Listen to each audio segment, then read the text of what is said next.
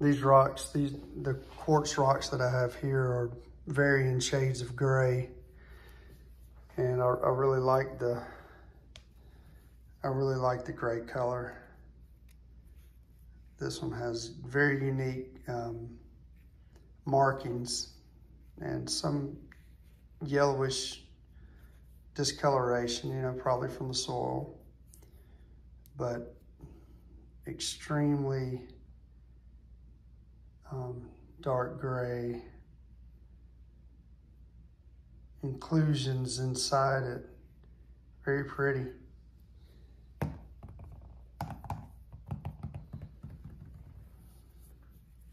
So this one gets a little bit darker.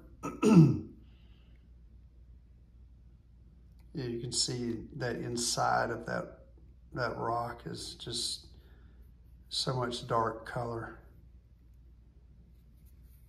Really unique. Looks good. And this little guy, he's really dark. Look how dark that is. It's unique.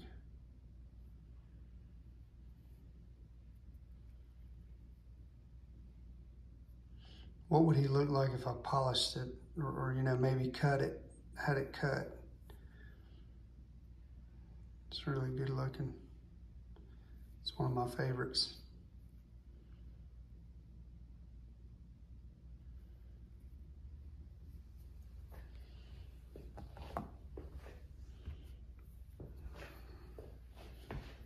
Hmm, this one has a little bit in it as well.